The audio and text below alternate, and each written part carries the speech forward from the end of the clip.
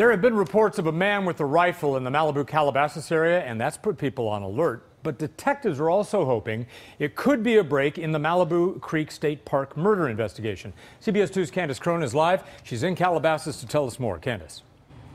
And deputies were called to this community center early yesterday morning after someone broke in and stole food. Well, they're now looking into if that man is connected to other burglaries and even a deadly shooting in the area. And we have some video from yesterday's crime scene. Authorities say the suspect smashed out the window of the door and then once inside the community center, he stole food from a vending machine and then took off. Now, it's unclear if he was armed. There is security video, though, but authorities aren't releasing it just yet.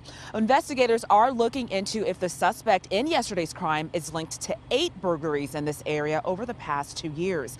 Last week, not far from the community center, a man dressed in army fatigues broke into a business and stole food there as well. Security video shows the man was armed with a rifle at the time. Well, people who live in the area are rattled by the recent string of crimes.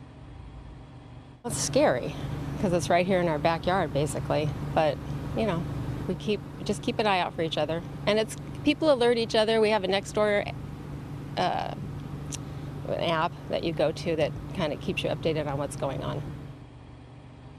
The recent burglaries happened not far from a deadly shooting. Back in June, you may recall, 35-year-old Tristan Beaudette was camping at nearby Malibu Creek State Park with his two daughters when he was shot in the head from a distance. Now, detectives want to know if the man responsible for the burglaries has anything to do with Beaudette's murder.